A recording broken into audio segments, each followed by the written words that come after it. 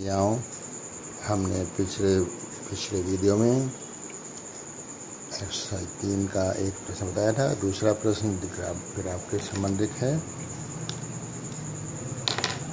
अगर बी के ये हमारी अक्ष दिए है, ये एक्स अक्ष है और ये हमारी बाई अक्ष है इस एक्स अक्ष पर हमने ग्राफ में number one, two, three, four, five, six ऐसे लेकर कर गए इधर भी हमने minus one, minus two, minus three, minus four, minus five ले लिया अनंत तक जाएँगे, ये भी अनंत तक जाते हैं। ऊपर भी नंबर ले लिए, नीचे भी नंबर ले लिए। अब यहाँ पर वो पहला प्रश्न पूछ रहा है, बी के निर्देशांक। तो बी के निर्देशांक हमारे हैं। बी कहाँ पर है? यहाँ भी ये है तो हम यहाँ से इधर मूल बिंदु से यहाँ पर आए तो माइनस पाँच, और ऊपर गए तो दो। तो ये दो पॉजिटिव है, और ये ज़ीरो से बाई ओर गए हैं तो ये माइनस पाँच हो जाएगा। तो माइनस पाँच और दो, ये हमारे बी के कोऑर्डिनेट हो गए। सी के निर्देशांक सी हमारा यहाँ है। तो हम ज़ीरो से इधर कितने पॉइंट चले हैं? One two three four five five चले हैं और नीचे की ओर चले हैं। बाई अच्छे पर एक, दो, तीन, चार, पाँच। तो ये हो गया पाँच और माइनस पाँच। क्योंकि हमने एक्स की मूल बिंदु से दूरी तय की, वो दूरी है पाँच और बाई की मूल बिंदु से दूरी तय की तो वो है माइनस पाँच। क्योंकि नीचे की ओर गए हैं तो माइनस पाँच, ऊपर की ओर जाते हैं तो प्लस पाँच। अब माइनस तीन और माइनस पाँच दोबारा पहचाना जाने वाला बिंदु कौन सा है इसमें? तो माइनस तीन और माइनस पाँच, ये वाला बिंदु है, ये बिंदु हमारा ई है। दो और माइनस चार चार दोबारा पहचाना हुआ बिंदु कौन सा है? दो इधर है और माइनस चार इधर है, ये बिंदु हमारा जी है। डी का भुज कितना है?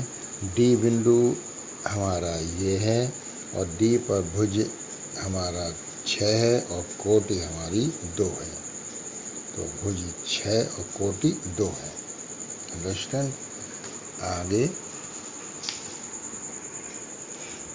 बिंदु एच का कोटि क्या है? बिंदु एच का कोटि एच ये बिंदु ये है, जो एल एक्स एच की दूरी कितनी है इसकी? माइनस पाँच और बाई एच से दूरी कितनी है? माइनस तीन। यानी तीन। तो नीचे की ओर है तो माइनस तीन और ये बाई ओर है तो ये माइनस माइनस पाँच। तो माइनस तीन और माइनस माइनस पाँच और माइनस तीन हमारे इसके कोऑर्डिनेट हो गए एच के। लेकिन एच का भुज माइनस पाँच और कोटि हमारा माइनस तीन है। बिंदु एल एल के निर्देशांक एल हमारा एक्स बाई अक्ष पर है और बाई अक्ष पर एक्स का मान ज़ीरो होता है।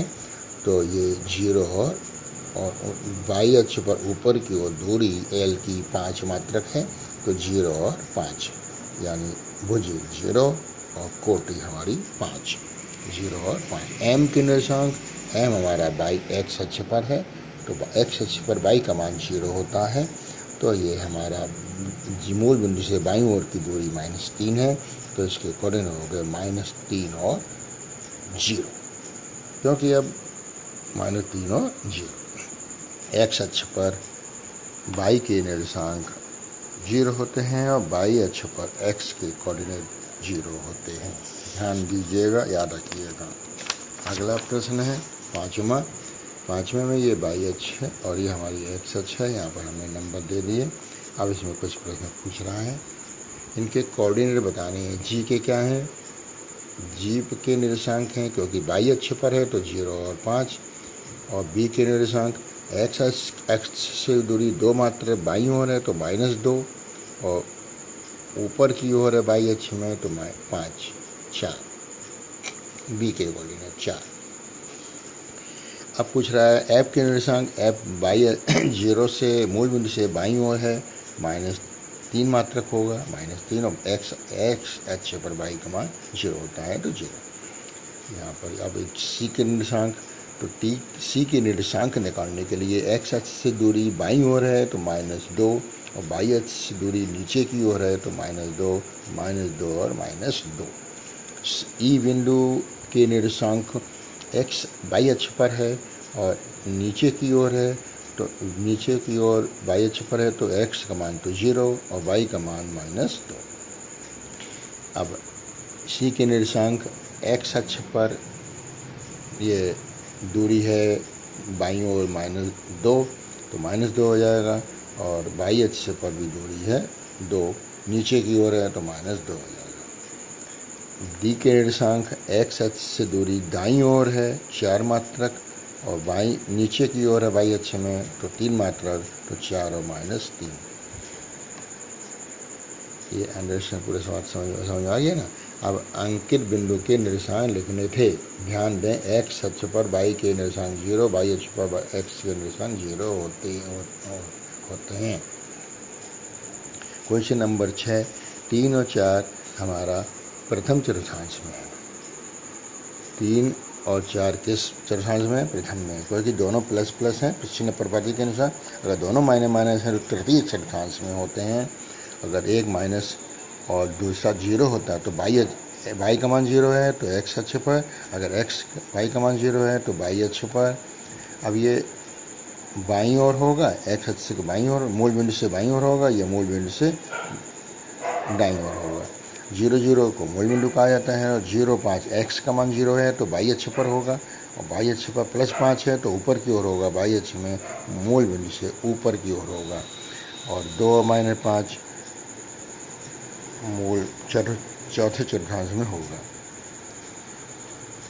पाँच प्रश्न नंबर सातवा, बिंदु पाँच और सात की बाई दूरी पाँच मात्रक है और माइनस आठ और छः की दूरी एक्स एस दूरी छः मात्रक है, क्योंकि यहाँ एक्स का मान एक्स जब बाई एच से पूछ रहा है तो बाई एच से हम, बाई एच से चलेंगे तो बाई एच से चलेंगे इधर ओर तो एक्स का मान चलेगा तो एक्स का मान कितना है? पाँच। और जब हम एक्स एच से चलेंगे, ऊपर चलेंगे, नीचे चलेंगे तो हमारा बाई एक्स एच से चलेंगे तो किसका मान चलेगा? बाई का मान चलेगा तो बाई का मान है छः। समझ आ गया होगा। सवाल नंबर नौ। एक वर्ग के दो शीर्ष ए माइनस तीन और ज़ीरो तथा बी दो और ज़ीरो पर हैं, हुए हैं। तो हमने ये एच बनाई पहले बाई एच बनाई और एक्स एच बनाई और इस पर पॉइंट लगा दिए अपने इच्छा अनुसार। एक, दो, तीन, चार, पाँच, जो भी तो दो पर ज़ीरो है तो हमने प्रदर्शित कर दिया। बी बिंदु और ए बिंदु है, मूल बिंदु से बाई ओर। तो माइनस तीन, और क्योंकि ज़ीरो है बाई का मान, इसलिए बाई एक्स अच्छे पर ही होगा तो माइनस तीन और ज़ीरो।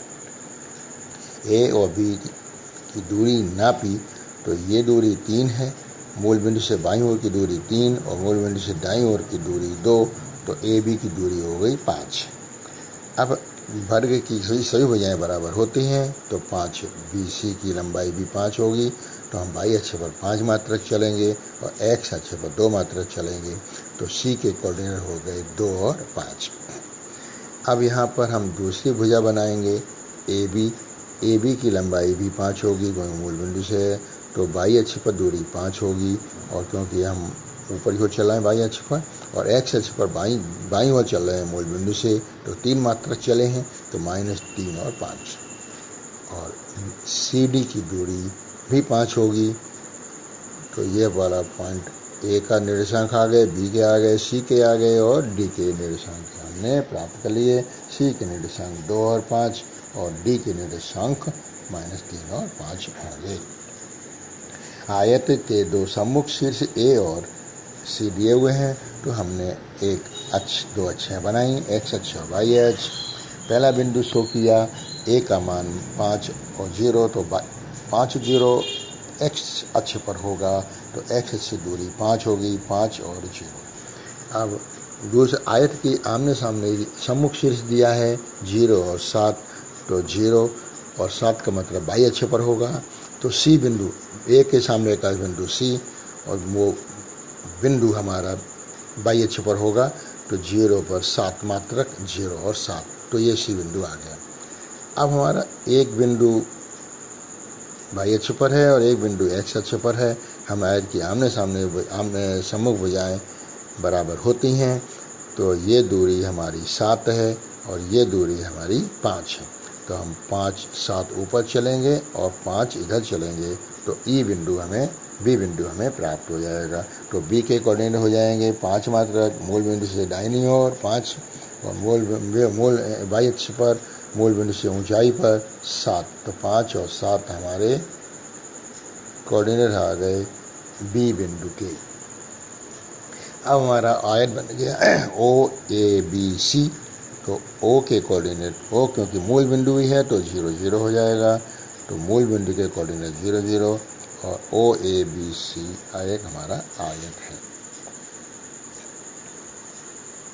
संभव त्रिभुज के एक भुजा पाँच मात्र पाँच मात्रक है तो हमने अक्ष पर बनाया।